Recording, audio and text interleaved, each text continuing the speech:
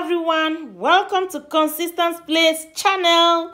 Today's video is a clip of an exclusive family and friends session sharing our testimonies to encourage ourselves and our children in the pilgrimage.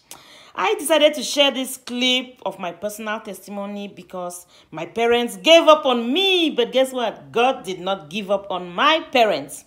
I mean this is to encourage someone today who wants to commit to Christ but is faced with family opposition from parents or from significant others.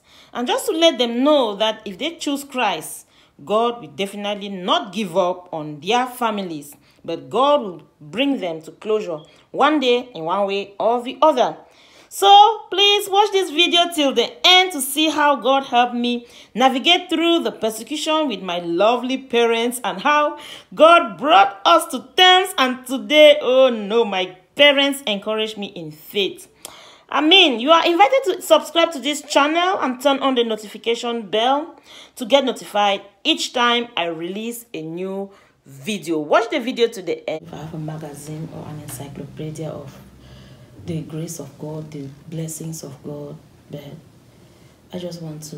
C'est comme si elle a un magasin ou un gros livre de grâce de Dieu dans sa vie. Mm -hmm. Mais elle va seulement partir là-bas et prendre a little sample pour un sample for this session. Seulement pour cette, yeah. oui, pour cette uh, session. Yeah. I was also talking with my sister in the morning about how life was. I grew up in a very I don't want to say in a very poor family. Back in the days, it was a middle class, mm. standard mm family.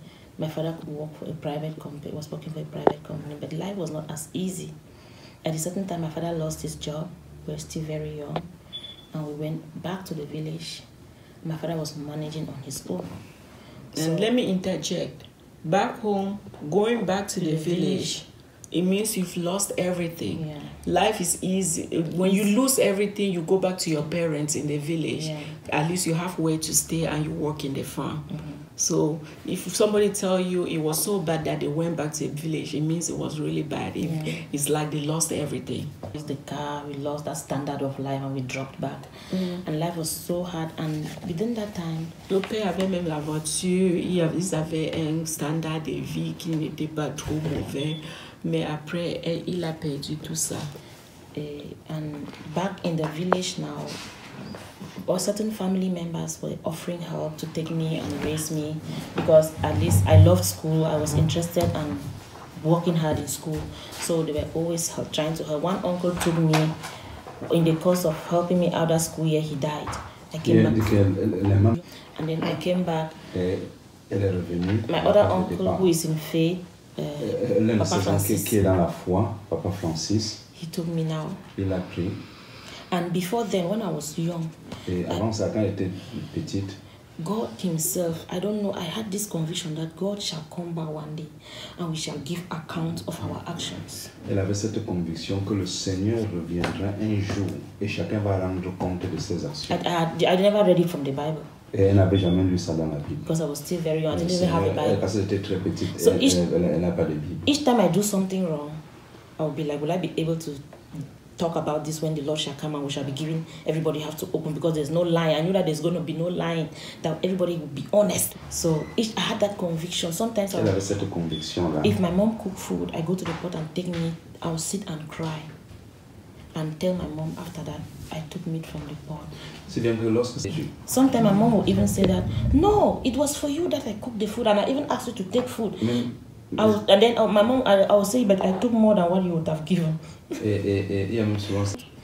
and then be, before then, I had come to holiday to for holidays in Gusa. I was very, I was like, Alison, just the atmosphere of the Christians there took me over when they could kneel down and pray, they would cover their head. They, are, they were so holy. As I, at that time, I was just looking at the angels. I, I didn't understand anything about the gospel, but just that atmosphere, I just blended in. So after the three months holiday, when I was coming back home, I had my head tied on the head. So après trois mois de congé. But my parents took it off first thing mais, they saw mais, me. Mes parents ont enlevé ça. now I grew up. Now another time with all the difficulties that we had had, gone back to the village.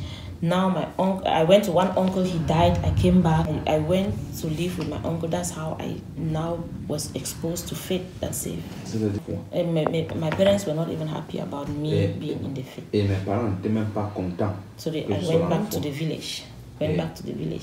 Ils sont rentrés à la maison, So euh, back- au village. So back in the village now, I studied in the village and had advanced level, and it was time for me to move to college.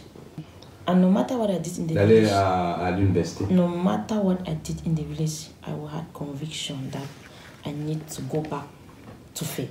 I need to go. That's where I belong. Malgré tout ce que je faisais au village, j'avais cette conviction que je dois retourner dans la foi parce que c'est là que j'appartiens, je n'ai pas. So the first thing I went, I went to college, was to look for the church and start to persevere. That's- So now when I persevered that year, news came to my parents. And uncle talked about in Cameroon writing concours. I had passed the concours to go to nursing school, which is a big thing in Cameroon. So I was in a professional school. Can I interject? Mm-hmm. When they say concours, mm. in Cameroon, it's like it's an exam that you write to get into a professional school, into a vocational school. Yeah.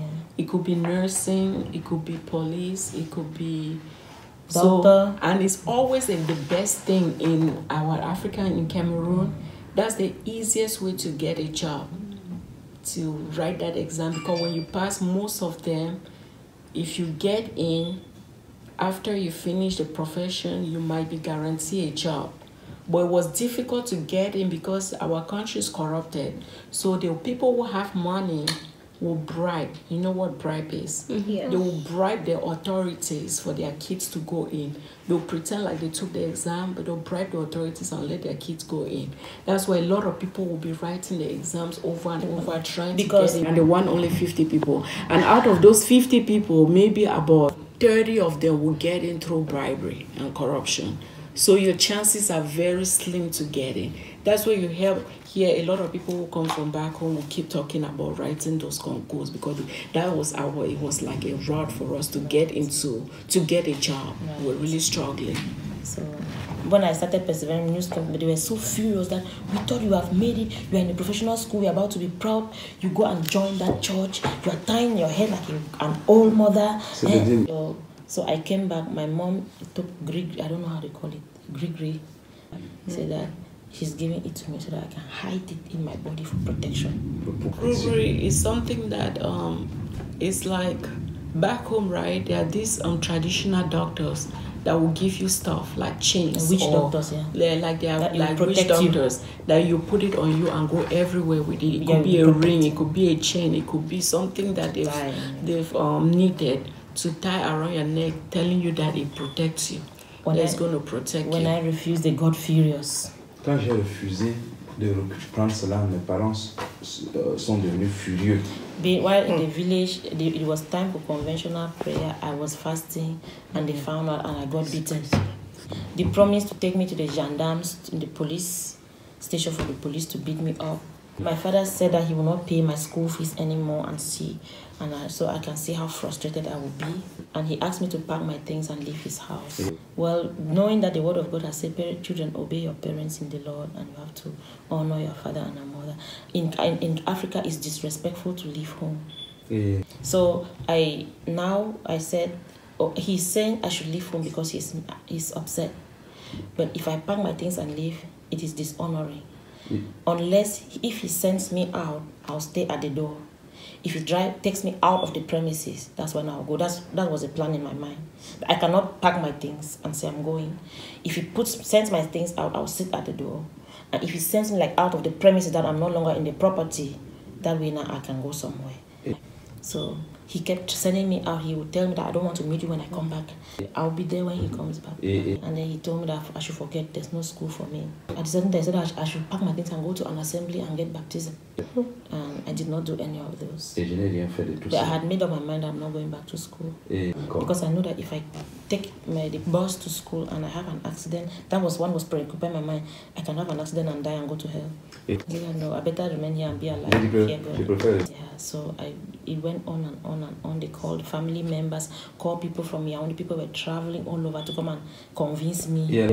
It- Some came and threatened, some came and begged. Et il y a des gens qui And finally, nobody succeeded. They called Serviteur Francis. And told him that he should unleash me from where he has died. Yeah. And he said that I am a servant of God and my, my, my mission is to bring souls to Christ. And it has never been my mission to send people out of Christ. Et, et- My father got so furious and I don't know how it ended. He left and had not we had not even conversed. He didn't even know what happened before then. Qui savait Francine ne connaissait pas ce qui s'était pas- passé. Qui ne connaissait même pas que j'étais, ce que je traversais parce qu'il n'y avait pas les téléphones. Ouais, le- Il était seulement surpris qu'on lui ait demandé de. They just asked him to unleash me where he has died. So later on, my father just, for the first time, he gave me all my tuition, all my books money, everything. And I was so sorry. I was not even preparing for the exam I had because I knew that I was not going back to school. So he just called me and said, That's your school fees and everything. Go back to school. And I was like, Really? Okay. So, and he, he, he took me, he didn't want me to have any contact with anybody in church. So he took me by himself to go and leave me in Limbe. He came to the car. So while he was sitting with me in the car, I told him that I want to use the restroom. Et, Et- et étant dans la voiture, I told him that I want to go and use the bathroom. Mhm. Et dans la voiture, il a dit que je voudrais aller, elle a dit que je voudrais aller utiliser les toilettes. Uh, and c'est dans l'anga, il y a les, les call box, les bouts téléphone bout. Mhm. Et il y, a les, il y avait une sœur qui vendait dans une boutique qui avait un téléphone. Mhm. Et Il y avait j'avais le numéro. Il y avait une seule dans. J'ai- En sortant, j'ai pris le numéro. Je, je suis partie d'abord aux toilettes, il m'a vu. Maintenant, quand je suis je revenais, je suis entrée dans un bout. Appelé la sœur là. Et dit tout, à la, tout ce qui s'est passé à la sœur là, dit à la sœur qui dit, pas Francis, que me voici, je m'avais euh, j'ai donné toutes les informations là-bas, je suis revenue m'asseoir avec lui. Seigneur Jésus. Je connais. so my father thought that he was protecting me, but I did what I had to do. I had to go and then call the people in the church and tell them that this is the situation that I am in. They should think about me, and that's how I went back to Limbe. And God has always been faithful. I'm just saying to you guys, you guys are born in church. It's a privilege to grow in church where you know God and nobody is is bothering you for you to have a relationship in God. So you have to get this opportunity, seize the opportunity and really fear God because some of us before we actually succeed to fear God, he was out of a lot of torture. Yeah, they it was out of a lot of torture and since I knew God, He has never disappointed me. I've gone through a lot of things. So talking about poverty, I was not I don't even come from a family that could send me abroad. I got married to my husband, he didn't have a job. I was a laughing stock all over the place. They laughed me. People people in church would laugh and like laugh at us, laugh at us, but trusting God is always what has always brought everything to closure. Amen. Yeah, that's what I can say. I have a lot of testimony, but I cannot Thank you for watching this video.